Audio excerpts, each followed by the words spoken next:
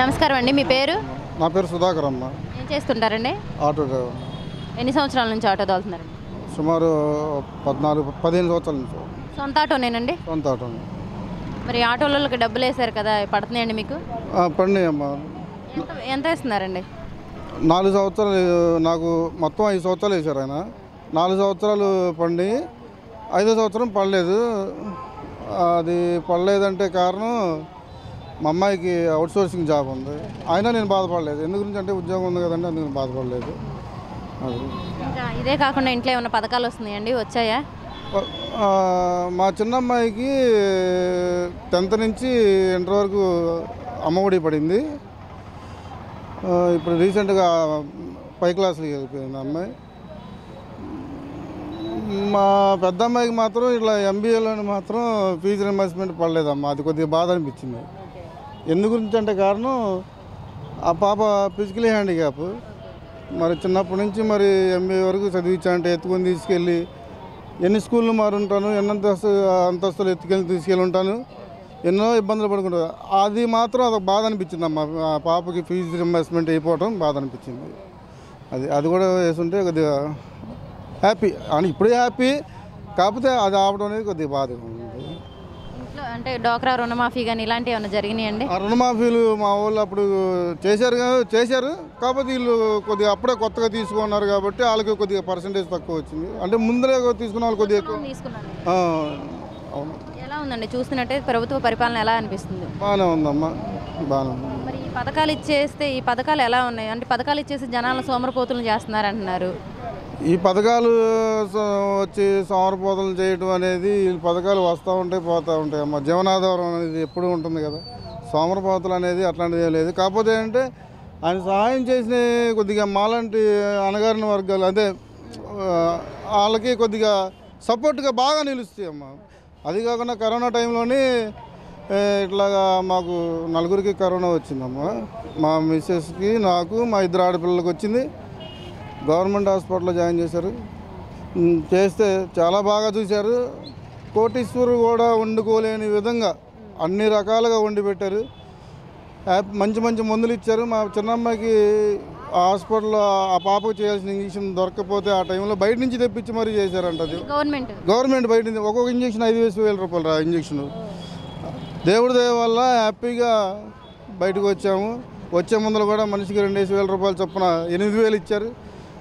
ఎనిమిది వేలు ఇవ్వగానే నేను డైరెక్ట్గా ఆటో తీసుకొని ఆటో హాస్పిటల్కి ఆటోలోనే వెళ్ళాం జాయిన్ అయినప్పుడు ఆ ఎనిమిది వేల రూపాయలు తీసుకొని డైరెక్ట్గా రేషన్ షాప్కి వెళ్ళి అంటే కిరాణా కొట్టుకి వెళ్ళి ఒక నెల రోజులకి సరిపడా సరుకు మొత్తం కొని ఇంటికి వెళ్ళిపోయా. ఇంకో నెల రోజులు నేను బయటికి రాలేదు. ఎందు గురించి అంటే కరోనా టైం చాలా భయపడుతున్నారు.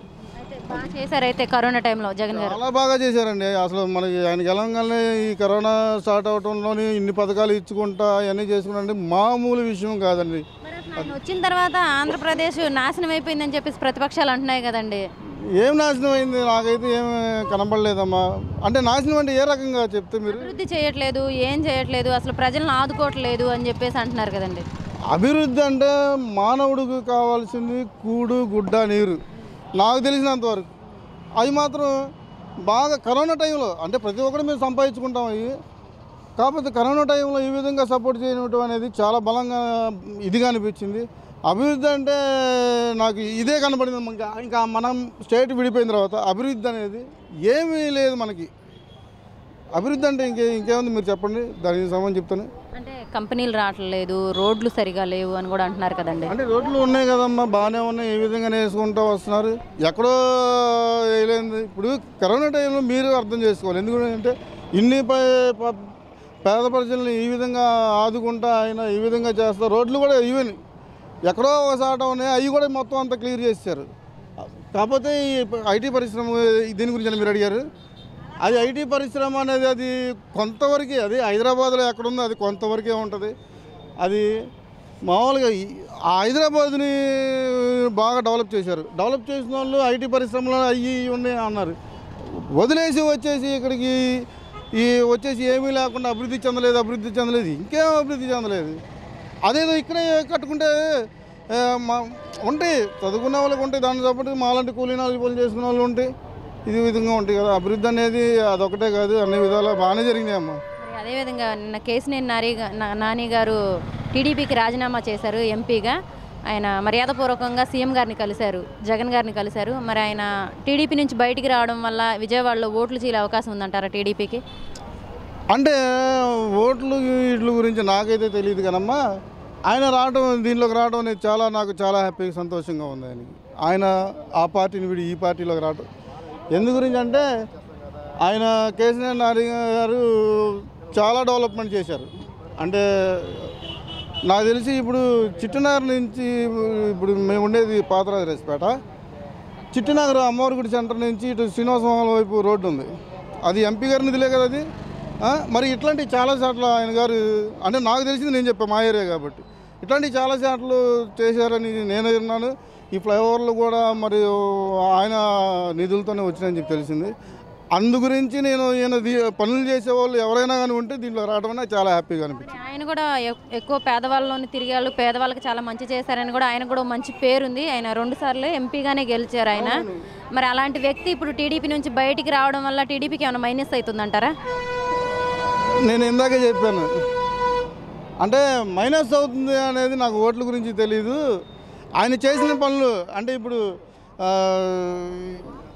రెండుసార్లు గెలిచారు కదా? రెండుసార్లు గెలిచారు ఆయన మంచి వ్యక్తి పేదలు పేదల పక్షాన ఉండే వ్యక్తి అని చెప్పేసి.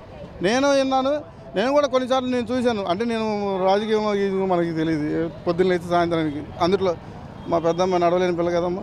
ఆ పాపను తెంచడం తీసుకురావటం ఇవన్నీ మొత్తం నాతను అందు గురించి రాజకీయాల గురించి ఓట్ల గురించి అయితే నాకు తెలియదు కానీ అట్లాంటి మంచి వ్యక్తి పేదల ప్రజా పక్షాన ఉండే వ్యక్తి ఇటు రావడం అనేది చాలా మంచి అనిపించింది చాలా హ్యాపీ అనిపించింది. ఇప్పుడు వైసీపీలోకి వచ్చారు కాబట్టి ఆయనకి ఆయనకి నెక్స్ట్ విజయవాడ ఎంపీ సీట్ ఇచ్చే అవకాశం ఉందంటారు వైసీపీ తరపు నుంచి? మీకు మళ్ళీ చెప్తున్నా నాకు ఈ రాజకీయాల గురించి తెలియదు. ఇస్తే మంచిదే కదా ఇస్తే మంచిదంటారా? చాలా మంచిది. మీకు ముందే చెప్పాను నేను. పేద ప్రజలకు చేసేవాళ్ళు ఎవరైనా కానీ దీని వచ్చి ఏ పార్టీలో చేస్తే మనకేనండి? ప్రస్తుతానికి ఈయన గారి ప్రభుత్వంలోనే బాగా నడుస్తుంది. చాలా హ్యాపీగా ఫీల్ అవుతున్నానని చెప్పేసి నాన్నగారు కూడా ఈ దీంట్లోకి వస్తే చాలా హ్యాపీగా ఫీల్ అవుతుందని చెప్పి నేను అదే చెప్తుంది ఇది. పనులు చేసేవాళ్ళు ఏ పార్టీలో ఉంటే ఏంటమ్మా మనకి? అది ఈయన గారి ప్రభుత్వంలో చాలా హ్యాపీగా ఉంది. అది బాగా జరుగుతుంది. నెక్స్ట్ రెండు రాబోయే రెండు వేల ఇరవై నాలుగులో ఏ పార్టీ గెలిచిద్ది అంటారు నేను ఈ పార్టీ ఇప్పుడున్న వైఎస్ఆర్సీపీ పార్టీ గెలిచిద్దాం. ఎందు గురించి అంటే మా కుటుంబం వరకు నాకు అట్లా జరిగింది. అట్లా ఎన్నో కుటుంబాలు అండి ఎన్నో కుటుంబాలకి కరోనా టైంలోనే ఈ విధంగా జరుపుకుంటూ వచ్చింది కాబట్టి ఎందుకంటే అండి ఇంత ముందల ప్రభుత్వాలు ఏ నడిచినాయో నాకు తెలియదు కానీ నాకు పెళ్ళైన పదిహేను సుమారు పది సంవత్సరాల దాకా రేషన్ కార్డు గురించి ఎన్నో అప్లై చేసుకుంటూ వచ్చాను. ఎక్కడా కూడా ఇచ్చింది లేదు. ఈ జన్మభూమి కార్యక్రమాలని అయ్యాని ఇయ్యని పెట్టేవాళ్ళని ఎవరికి ఇచ్చేవాళ్ళో కూడా తెలియదు మా తోడు మా ఇంటి పక్కన ఉండేవాడు ఆయన బందర్లో ఉంటాడు. ఆయనకి ఆల్రెడీ అక్కడ రేషన్ కార్డు ఉంది. వచ్చి ఆయన ఇక్కడికి అక్కడి నుంచి ఇక్కడికి వచ్చాడు. ఒక ఆరు నెలలు పెట్టే ఆయన వచ్చిన ఆరు నెలలకి ఆయనకి రేషన్ కార్డు వచ్చింది. నాకు రాలేదు. నాకు అదే విచిత్రం అనిపించింది.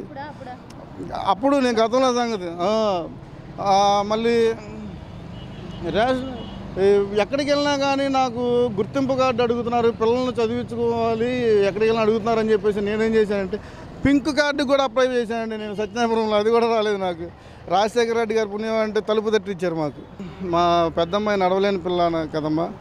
ఆ పాపకు అవుట్ సోర్సింగ్ జాబ్ వచ్చిందని చెప్పి పెన్షన్ కూడా తీశారు మూడు వేలు. అయినా నేను బాధపడలేదు. ఎందుకంటే నా కూతురు చదివించుకుంది అట్లాంటి పిల్ల నాకు జాబ్ చేయాలి అనే ఉద్దేశంతో నేను చదివించుకున్నాను. అందుగురించి పెన్షన్ కట్ చేశాను. నేను బాధపడలే ఆటోకి కూడా ఈ సంవత్సరమే పడలేదు బాధపడలేదు. ఈ ఫీజు రింబర్స్మెంట్ గురించి కొద్దిగా ఆలోచిస్తే మా నాయకుడికి మా నాయకుడు అంటే ఏ పార్టీ వల్ల అయినా కానీ మా మంచి చేసిన మన మనిషి అనుకుంటాము. అట్లాంటి ఆయన మళ్ళీ మళ్ళీ రావాలి దేవుడు కూడా ఆయనకి నుండి నూరేళ్ళు ఆశీస్సులు ఇవ్వాలి అది.